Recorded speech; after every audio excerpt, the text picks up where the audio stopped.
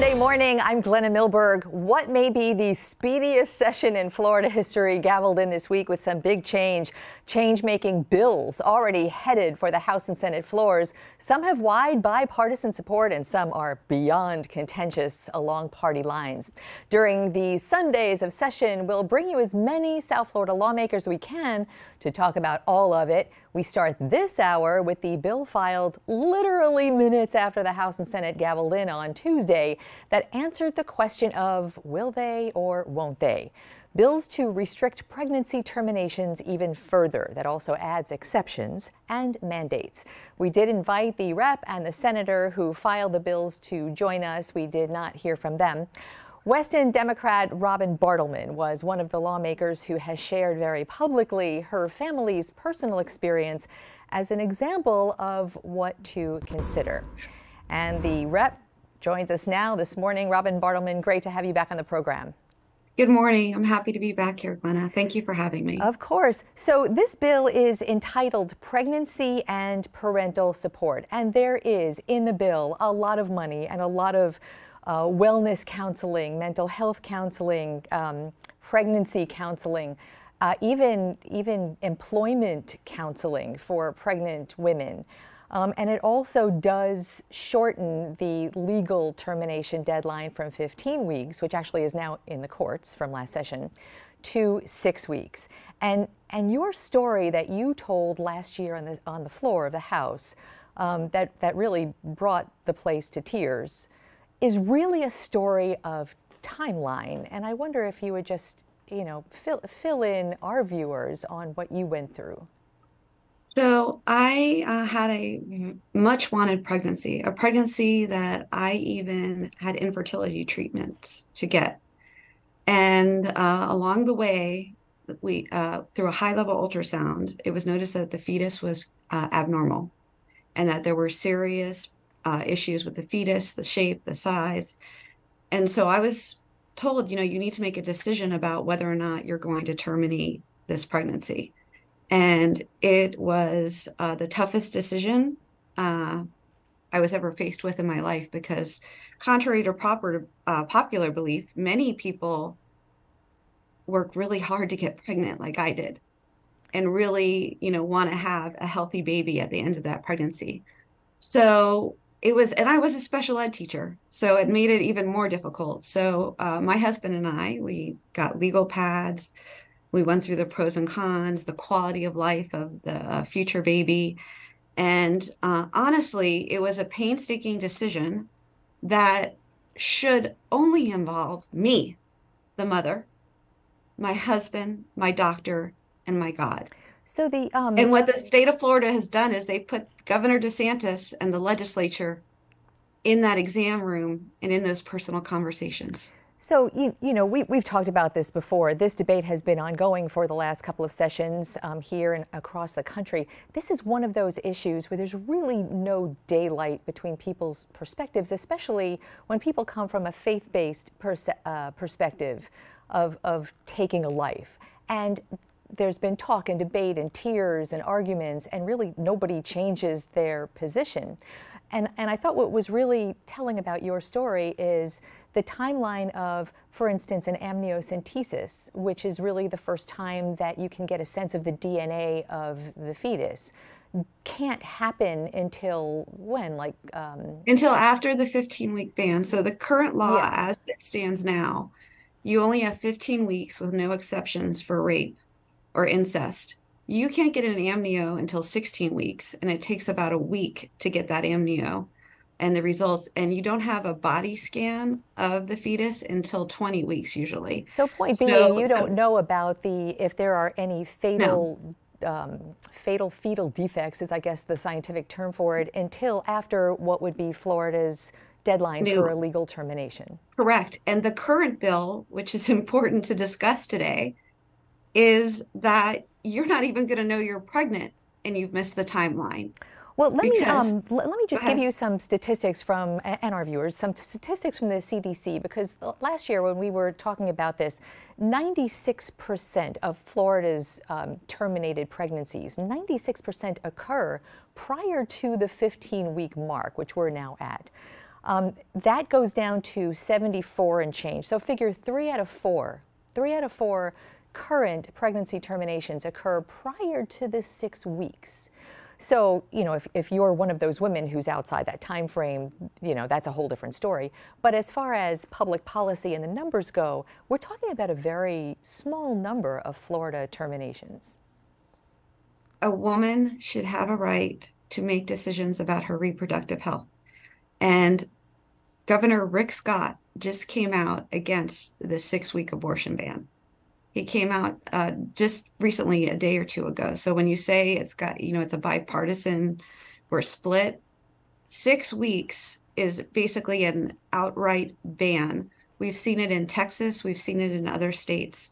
For for the men out there, just how this works for women, and I'll I'll give you too much information. You're supposed to get your period every four weeks. I don't get my period every four weeks. Sometimes I get it four and a half weeks. Sometimes I get it five weeks. Sometimes you don't notice. And so let me just go over this timeline. You find out you've missed your period, you're five, six weeks out, right, from your last period, not knowing when you got pregnant. It could have been the day after your last period. Then you have to, if you are able to, take time off of work or get a day off, right?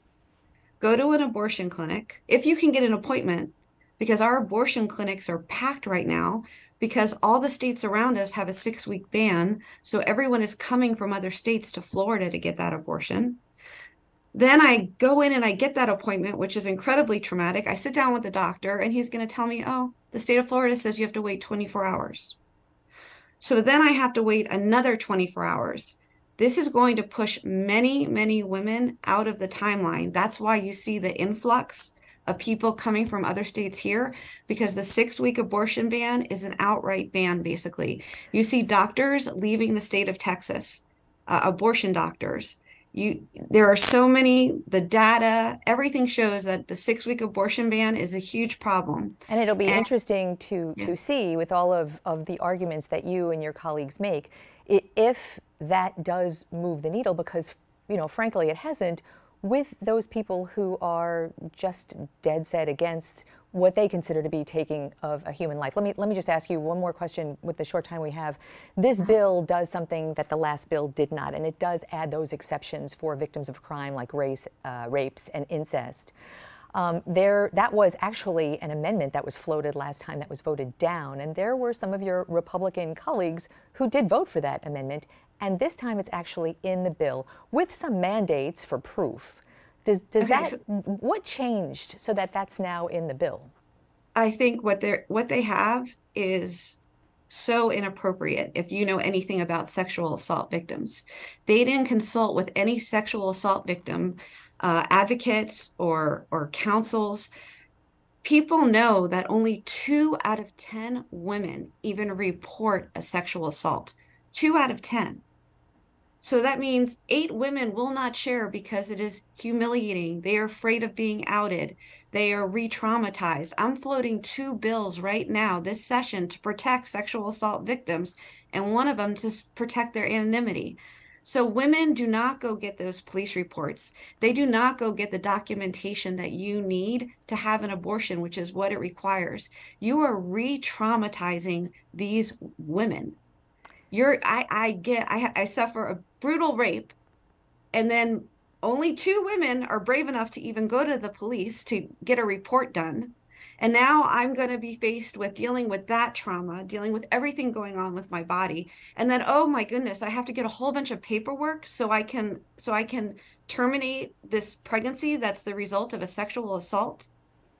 That's that's not that's not what happens. That's not real life this bill does not reflect real life. It doesn't affect the real life of what's happening to rape victims. It doesn't uh, reflect what happens to women and when they realize they're pregnant or not pregnant and when they get their periods. This is an outright abortion ban. And we were on this program in February of 2022. And the legislature spoke in six hours of debate. And in every committee, that 15 weeks was a fair mark.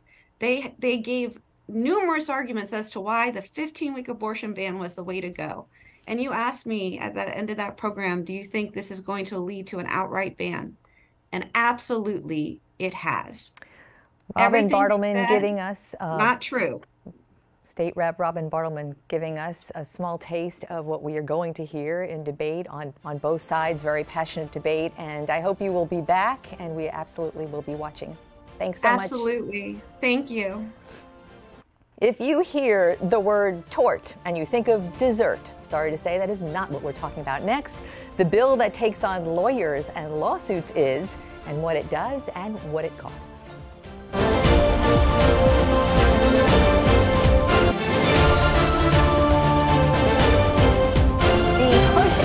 Between Florida's insurers and the attorneys who sue them on your behalf is at the heart of a bill sailing through committees. The yays think it'll bring balance and fairness to the lawsuit filing industry. The nays call it a gift to insurance companies. Miami Lakes Republican Tom Fabricio is the House sponsor of that bill, and it's called Civil Remedies. Representative Fabricio, Tom, great to have you. Thank you, Glenna. Thank you for having me. We should I, you know, I, I don't want to take all the credit for it. I am a co-sponsor of the bill in the House with uh, Chairman Tommy Gregory. Uh, who uh, has been working very ardently on this bill as well. Okay, well, we are all about spreading the love, so thank you for that. And, you know, fair to say that in the House and Senate, a lot of people are in in the pot doing a lot of things. But you know, it was really interesting when I first read this bill on the website, you see the list of lobbyists that are registered. So you know there's a lot of money involved because that's a pretty long list of lobbyists involved in in crafting this and, and speaking on this. Um, so is it fair to say that this bill sort of puts the guardrails on attorneys' fees and the costs of litigation um, that attorneys file against insurers and insurance companies. So is, is guardrails, is that a kind of a valid headline? So the, the bill does a lot of things. It has, it has uh, I think, more than nine sections at this time. Uh, the version that's going to be going into the Senate uh, come next week. Um, attorneys' fees is one of them, and uh, what, and we have worked. By the way, we've worked with both sides. Uh, the the FJA, the trial bar, has been working with us to to seek a, to seek movement on the bill, and it has moved uh, with regard to their request. So we have worked with the trial lawyers, and with regard to attorneys' fees, there is a section in the bill that says very clearly, and we're working to make sure that the language is as clear as it possibly can be, that if any insurance claim is wrongfully denied, the insured will be able to have a lawyer obtain their own attorney's fees if that lawyer prevails through a declaratory judgment action. So what that does is it kind of narrows in, but it it, it provides for that cause of action. Whenever you have a, a, an insurance carrier that wrongfully denies, denies a claim, that claim uh, needs to be paid, and the the the party seeking payment, the insured, should be able to get their attorney's fees um, if they do prevail on that. So there's a, some comp- okay, um, fair enough, and that was it, that is a very easy explanation to understand. Um, there are components of the bill, for instance, one that talks about uh, ba- bad faith. To get to a bad faith, not necessarily negligence. It has to go beyond that. So I think the concern that I'm hearing is when you say if an insurance company uh, wrongfully denies a claim, how that's kind of a gray area. Who decides and how whether that's wrongfully denied? Where, where so, does the weight lie? So, Glenna, these are two. So, Glenna, uh, these are two different sections of the bill. One section of the bill has to do with the one-way attorney's fees, and that's what I just discussed, where the where the attorney would be able to file, or the insured would be able to file through their attorney a declaratory judgment action to declare whether the claim is covered or not. That's an insurance coverage declaratory judgment action. With regard to bad faith, that's a statutory cause of action. And what we're saying there is that there should be a, an amount of time between the time that the claim is filed and the time that a carrier has to pay the claim. So that has to do with the amount of time uh, that a carrier has to pay the claim. And what we're saying, the last version of the of the bill, uh, which may be changing before it gets to the Senate now, uh, the last version of the bill, I believe, said that there was 120 days between the time that a claim was filed and the time that a carrier had to pay that claim. And if that carrier paid that claim within that amount of time, there would be no liability to the carrier in bad faith because they did what they contractually had to do, which is pay the claim. And look, Glenna, the overarching idea here is twofold. On number one, we need balance. We have a huge amount of litigation in Florida, which tends to be gotcha litigation, and it's problematic. Uh, we have eight percent of the of the claims in the country, and we have 80% of the litigation for the entire country. So that's a huge amount here in Florida. So we're looking to balance it. However, the most important part of all of this is that all proper claims must be paid. Uh, if, if an insured pays a premium and has a contract, an insurance contract for coverage, if there is a covered claim, that claim must be paid and it must be paid in a timely way. I remember that statistic when the just a few months ago during special session, you were framing something along these lines to, to for specifically for windstorm coverage and new roofs and that kind of thing. And this kind of takes it to to insurance for medical and and for everything else. And so you had at the committee meeting this week, one of the committee meetings, you had a lot of people who called themselves victims of medical tragedies who were really concerned about not being able to have fair representation in front of insurance companies. Do, do they have a valid concern there? that issue's been addressed. And I, as I mentioned, their concern was a couple, they had a couple of issues. One had to do with the one way attorney's fees, and we've discussed that already here uh, with regard to what we've done as far as the declaratory judgment actions for wrongfully denied claims. The other has to do with a section of the bill uh, described as transparency and damages. The issue with transparency and damages has to do with currently in injury litigation. That means when there's a motor vehicle accident or a slip and fall, uh, any kind of injury in litigation. Uh, that injury currently, oftentimes, uh, those injured parties receive treatment under what's called the letter of protection. Sometimes the injured parties have their own health insurance, yet they opt to not use their health insurance and they use these letters of protection. The letters of protection uh, sometimes are grossly in excess, meaning the, the medical cost that's attached to that letter of protection oftentimes is grossly in excess of what generally is customarily paid for those same procedures. So the with transparency and damages, those letters of protection will continue to be able to come into evidence uh, to show what that letter of protection doctor is charging via that letter of protection. However, what the bill does is it allows the actual the actual real cost of what those procedures generally and customarily cost also be presented to the jury so that the jury gets to evaluate. However, it's up to the jury ultimately, and that's that's that has to do with medical costs. Uh, but it should be noted, and, and this has been confused a little bit, unfortunately, that nothing in this bill deals with non-economic damages such as pain and suffering. So a jury, a, a, plaintiff's attorney will be able to continue to argue whatever amounts that they want to argue for future pain and suffering and past pain and suffering, and they will be able to, and the juries will not be, lim- they're not going to hear anything additional. As a matter of fact, it should be also noted, we're not capping what the damages the jury can give in any which way all we're saying is that the jury should be able to see what the customary and usual medical billing practices are for these cases. So and for these types of treatments. It's a trans it's almost a transparency issue. That's right. That's exactly right. Representative Tom Fabricio, you know we could talk about this for the next eight hours. It's a, a, pretty complicated bill, but I sure do appreciate you coming on and giving us the headlines. It is very controversial with our attorney friends, and we'll be watching it go through the legislature. Thanks so much. Thank you, Glenna. Have a wonderful day. You too. Thanks. Next, locked and loaded, the bill that would end the need for permits to carry a concealed firearm that's also now filled with money for school security.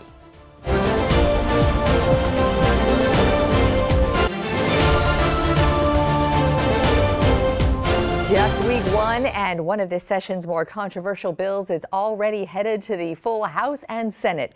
It was first filed as permitless carry and is now titled Public Safety. It eliminates the permit currently required to carry a concealed firearm, and it also now allocates for millions in security in schools. That is not enough for some of the Stoneman Douglas families at this event yesterday. The Marjory Stoneman Douglas High School Public Safety Act passed three short weeks after the tragedy here in Parkland.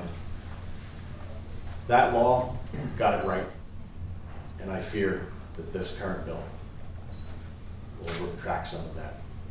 And we will have more families joining the terrible club my wife and myself and the other families here today find ourselves in.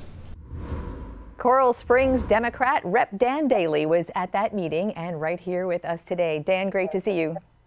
Hi, Glenna. Thanks so much for having me. So we'll get into the bill and the details in um, in just a little bit. I just since we're coming off that that uh, some sound from Tony Montalto, what would this bill have? Uh, what kind of effect, if if any, would this bill have had on the catastrophe at Stoneman Douglas five years ago? So the permitless carry bill um, that that the Republicans in Tallahassee are teeing up for passage um, would not have had a, a, an impact necessarily on MSD. I think it just makes it more likely that there are other uh, events like the tragedy at, at MSD. Right, we're opening the floodgates and letting folks do um, have those firearms uh, on their person. So the um, the bill has morphed. We watched the last committee meeting in the Senate this week. Uh, there are very familiar arguments that we've had on this program for and against. This time there was a lot of talk about literally tens of millions of dollars now in this bill going toward things like hardening of school infrastructure to school personnel, even um, mental health uh, assessments and counseling. D does that make a difference to you? The, the new parameters that they've put into the bill are, are mirroring what was passed in the Marjory Stoneman Douglas uh, Public Safety Act uh, and would apply it to private schools. But and, and while there may be some positive provisions, in my opinion, it's it's like putting lipstick on a pig. I think it's disingenuous to take a bill that makes us less safe, right? Uh, allowing anyone without a background check, without any training, without any proficiency with a firearm to carry a firearm in the state of Florida. You throw a couple of school safety measures in there you know, again, lipstick on a pig, it's still a pig. So we had on this program one of your colleagues who is one of the sponsors of this bill, uh, Representative Randy Fine from Brevard County, and he his points that he made um, a couple of times during the course of our interview together was that right now there are people carrying firearms without permits and they're called criminals. And this bill doesn't stop them. The, the, lack of bill doesn't stop them. So, so what's the difference? I, I think I'm characterizing what he said in, in a in, in sort of a valid way, and my apologies to him if he thinks I'm not. But that was, you know, he made a point. Like, th there are people who don't listen to laws. They're carrying permitless right now. Glenna, you know, under that logic, under Representative Fine's logic, why do we have laws at all? Right? Um, and and actually, what the what the concealed carry permit law has in place now is at least some level of requirement, right? It's not terribly difficult to obtain one. I have a concealed carry. I had to go through an additional background check, show proficiency with a firearm, and I had to understand where I can and cannot carry that firearm right? That's the base level. That's the bare bones, if you will. So if they're saying that, well, there's not much in place now, so let's just do away with it, we should be doing the opposite. Let's have a real conversation about training those individuals who were allowing to carry uh, a firearm anywhere in the state. I think what is most damning to me about this bill is if you buy your gun from a private sale, right, uh, or the gun show loophole, there's no background check if you uh, under this new law there would be no background check for you to carry on your person so you're going to see an increase in the number of people carrying on their person in this state and the other states that have passed it have seen that become very problematic uh, states that have passed it have seen something like a 22% increase in the homicide rate They've seen a 13% increase in officer involved shootings. Uh, the state of Florida, we like to talk about how we back our blue. Um, and we should support our law enforcement officers. And we should listen to them on this issue because, by and large, the officers on the street are opposed to this issue, just as they have been in the other states that have passed permitless carry. Uh, well, since you brought that up, I, I, will let everyone know that we did, not, not recently, but when the bill was first filed, we did reach out to both the sheriff of Broward County and the police director of Miami-Dade. And so far, we have not heard either of them take a position on this bill. Um, and the stats that you raise, we've seen, and, and there are, I suppose, are stats that there are on the other side, and it's just a, a, matter of parsing through the numbers and seeing what you believe. There, there are 2,831,000 concealed weapons permits in Florida right now. Um, Senator Lauren Book and committee brought up how 7,000 permit applications were denied. Um, is that a concern to you at all? That is, and that goes back to what we were talking about before, right, Glennon? There was at least something in place that prevented an individual that should not be able to carry a firearm in the state of Florida to, to prevent them from doing so. Uh, we're removing that, uh, we're removing any requirement whatsoever and allowing basically a free for all. So back to your original question, you know, do I think or what do I think that impact would have had in the in the situation at MSD? I think we're going backwards. I think post MSD, you saw the passage of the Marjory Stoneman Douglas Public Safety Act. That was a step in the right direction. With proposals like permitless carry, like the proposal that came out last week to reduce the age back to 18 years old to purchase a, a long gun, you're you're seeing us go back in time in the state of Florida, and it's truly unfortunate.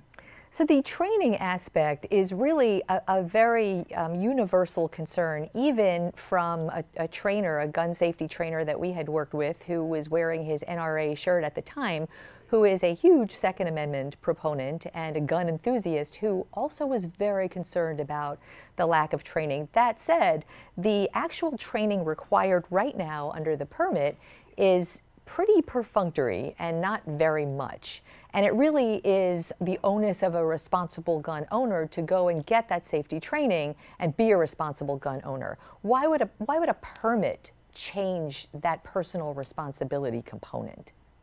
Sure. You know, look, if we have a problem with the current training, uh, maybe we should increase the training. Maybe we should make a standardized training program through FDACS, right? There are options there. Just doing away with it because it's a bare minimum isn't the right answer. In the state of Florida, you require 240 hours of training to do nails. You require 600 hours of training to, to do nails, hair. like manic- manicure nails? Correct. To be a nail technician in the state of Florida, you need a license and you need 240 hours of training. To cut hair, you need 600 hours of training. If this bill passes, you need zero hours of training to carry a concealed firearm anywhere in the state. Well, I guess um, the argument to that might be that there are no nail salons or hair cutter requirements in the Constitution, and, and so that might be, you know, an argument there. Um, Jamie's Law, you are refiling. That would be named after Jamie Guttenberg, one of the young victims at Marjory Stoneman Douglas High. Um, that would require background checks for ammunition sales. What are your colleagues on both sides thinking about that this session? You know, it has been, um, I say, I say an honor, but uh, unfortunately, it was a massacre that brought us together. It's been an honor to work with Fred Guttenberg, uh, Jamie's father, uh, over the years on Jamie's Law. I have filed it for the last three years uh, in the legislature. And unfortunately, it's never seen the light of day. And I think that's really problematic because when I look at something like Jamie's Law requiring a background check on, on, on ammunition, that should be the low the low hanging fruit, right? Reasonable gun reform. I'm, I'm a supporter of the Second Amendment. You heard me mention I have a concealed carry. I'm not coming for anybody's guns. I just want to make sure the people that aren't supposed to have them and aren't supposed to have the ammunition for them, we don't make it easy for them to get it right? Well, right now, you go in to purchase a firearm. You, there's a background check. They they verify who you are and that you're eligible to get it. But that same individual can walk into any store and purchase as much ammunition as they like, uh, and no one would ever know whether they're allowed to actually carry that or not.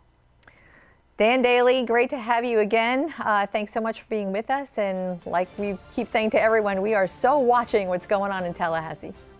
Thank you. Thank you. All right, first, a building collapse prompted new condo safety law, and now criminal condo board members prompt new protection laws. A dive into that is next.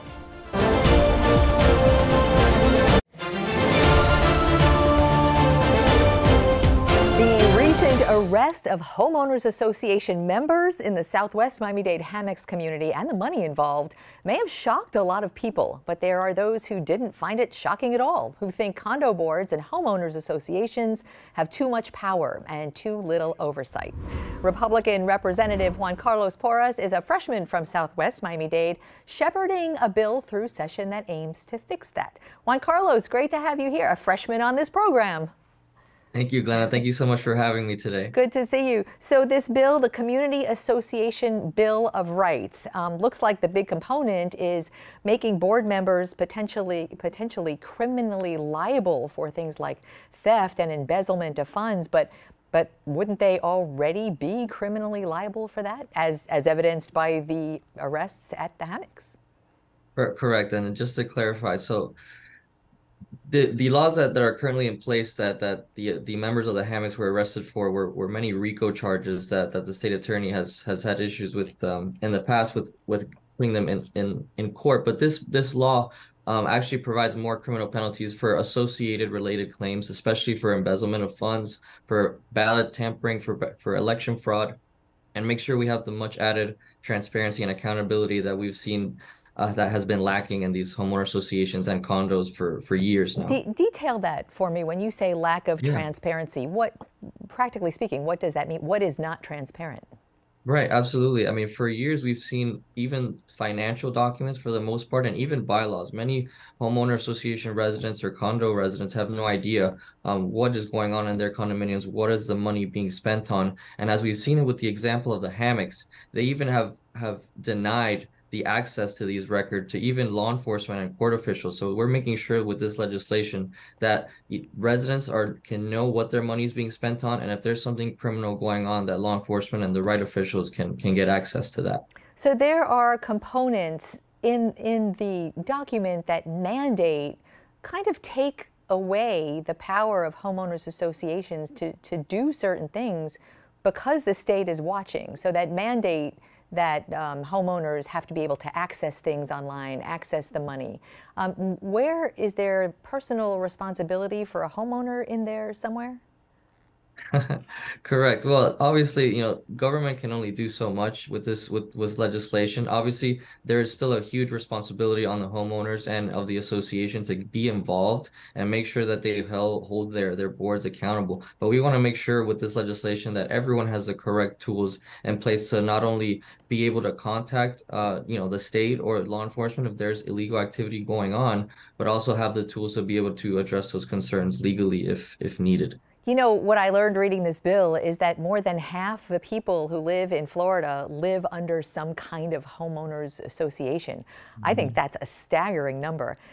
And yet, you and three co sponsors in the House are all representatives from Miami Dade County. Is, is the, are the rules different here? What, what is going on in Dade that this is, um, is this a problem throughout Florida? Sort of ball, ballpark how big this problem is.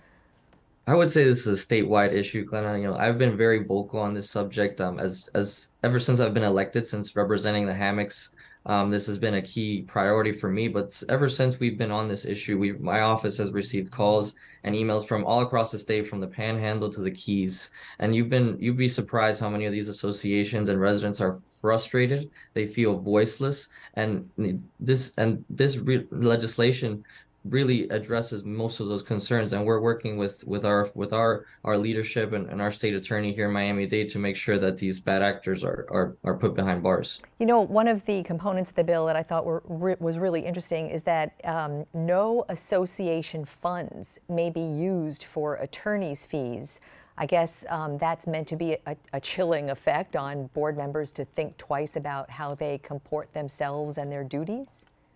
Yeah, correct. So in, in my specific example in my district and and the hammocks, you you would see these these associations increase rates even 400% um, in some cases to to pay for the criminal attorney's fees um, that of of which they were stealing funding that now we know of um, from their own residents. Because I, I think it's appalling that that as a resident um, you are paying for the uh, attorney's fees of somebody that is stealing from you. So we wanted to make sure we address that. Allegedly um, allegedly stealing allegedly yes. Let me um, i'm going to go off script here for just a moment, and we have about a minute left together. But I wanted to sort of, you know, we, have known each other before you were elected, and um, you are a freshman with a lot of mentors that are helping guide you from Miami Dade, especially Republican.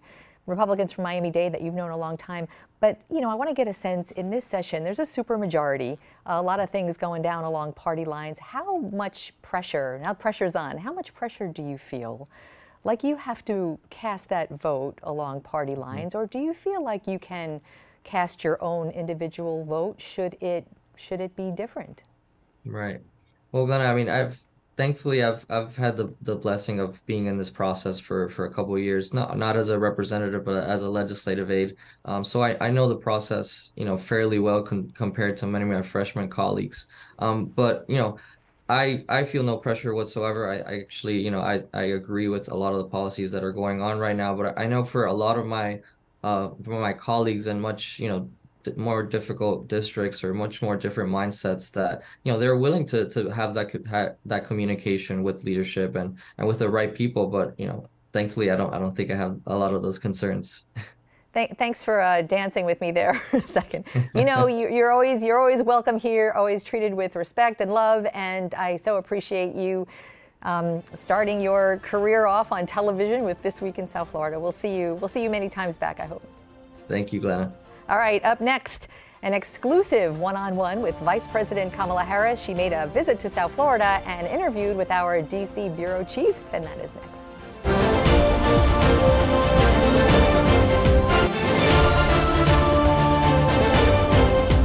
Important conversations about climate change came to ground zero for climate change this week at the Aspen Ideas Climate Conference, Miami Beach. Vice President Kamala Harris was there and took some time for a conversation with our D.C. Bureau Chief, Ben Kennedy.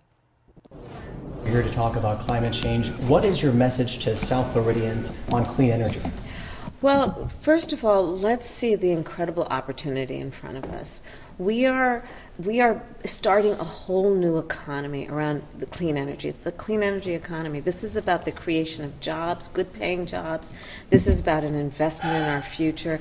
It's about an investment in innovation in a way that we are going to create things that the world will, will take advantage of. So it's exciting for that reason. It's exciting because our administration has been able to put what we calculate to be about a trillion dollars that will hit the streets of America around these investments. And so it's not only about job creation, American manufacturing, innovation, it of course is about doing what we need around climate adaptation and resilience and clean water and clean air, which is so fundamental for obvious reasons. On Thursday, tomorrow, President Biden will announce his federal budget proposal. Yes. Could you give us a bit of a sneak peek? What impact would the plan have for right here in South Florida? Well, in South Florida, for example, we know we have a lot of seniors who, from the first days that they started working years ago, have been putting money into Medicare.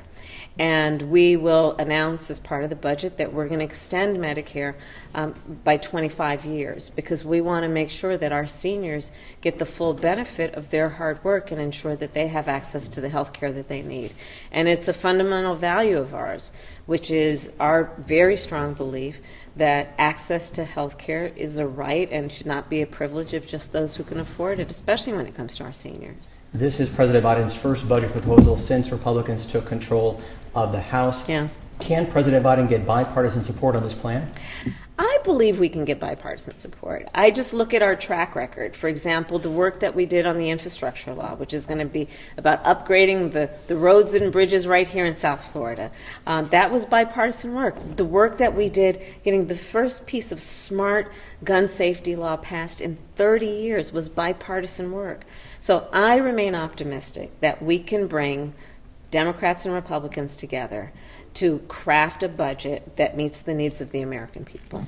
Your visit comes one day after the first day of the Florida's legislative session. They're talking about revising the state's abortion bill. The bill would ban abortions after six weeks. Your reaction? I think that um, it is it is absolutely abhorrent that politicians would be telling women what to do with their own bodies.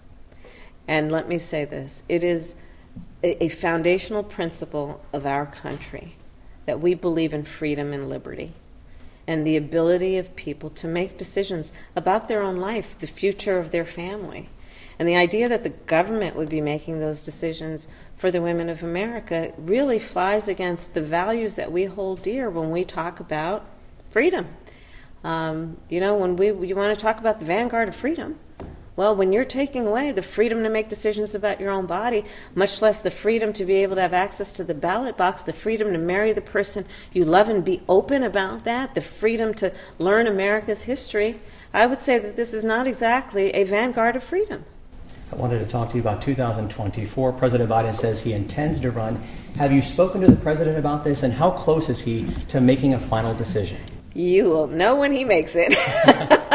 but I will tell you, in all seriousness, the president has said he intends to run, and if he runs, I'll be running with him, and for good reason if he decides to run for reelection. You look at the accomplishments that our administration has made under his leadership, and they are transformative and historic. You haven't seen the kind of progress on, for example, infrastructure building back up America's ridges, bridges and roads. People have talked about it, administrations have talked about it. And remember that whole thing about infrastructure week? It didn't happen. But under President Joe Biden, we now have billions of dollars that are already starting to upgrade America's roads and bridges. We're now in the process of ensuring that all families have access and can afford access to high speed internet, something that families around South Florida and around the country realized was a real problem in the height of the pandemic if you were trying to get your your children to be able to get an education online. Our seniors understand they shouldn't have to go to the public library to have a telemedicine appointment with their doctor. They should be able to have and be able to afford high speed internet at home so they, in the privacy of their home, can talk to their doctor. These are the kinds of successes we have achieved. And there is still more work to do, and, um, and I believe that when we look at the accomplishments of Joe Biden, that history, if not the, the present moment, will show that he has been a bold leader and that our administration is actually meeting the needs of the American people. If President Biden is reelected, he'll be 82 years old. What do you tell people who think he's too old? I say, look at the accomplishments, and you will see bold leadership. I just met with a group of young leaders here on the climate crisis, and they are talking about how they are going through such emotional and and and and and psychological angst around this issue. They're thinking about could they have children?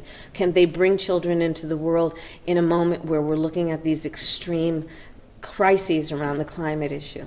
Because of Joe Biden's leadership, looking forward, being bold, we're going to put a, a trillion dollars into this issue in a way that's going to fast forward where we need to be. You look again at bold leadership around something like high speed internet. You look at bold leadership around what we need to do to create jobs in America, small businesses. We've created more small businesses in the last two years than in any two year period in the history of our country. My final question for you, Madam Vice President. You have a little less than two years left in your term. What are some of the top one, two, three things you want to get done uh, in the next two years? Well, one, I want to continue to focus on what we need to do around the climate infrastructure, and that's about the adaptation and resilience. I look at, for example, the Everglades and what we need to do here in South Florida. We're going to be putting um, approximately $8 million into helping this region do what we need to do to deal with rising sea levels and preserve that beautiful aspect of, of, of the, the natural capacity of this area, the work that we are doing to promote and bring more capital to small businesses. I look at South Florida and the thriving small business community. A lot of the work I've been doing is about increasing access to capital for small businesses. And then, of course, the work that we're doing on a global level. The work that we have done bringing our allies together. I was just in Munich where we were bringing nations together around saying that America stands with our allies, and we stand in defense of the importance of independence and sovereignty and territorial integrity. This is the work we're doing, and we're going to continue to do it.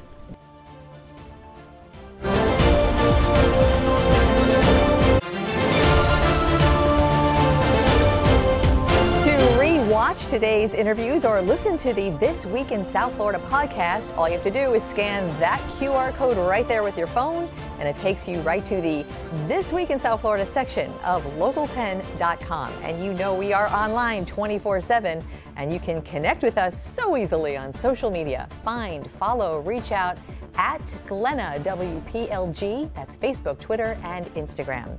As always, we thank you so much for being here with us this hour. And remember, please do keep in touch.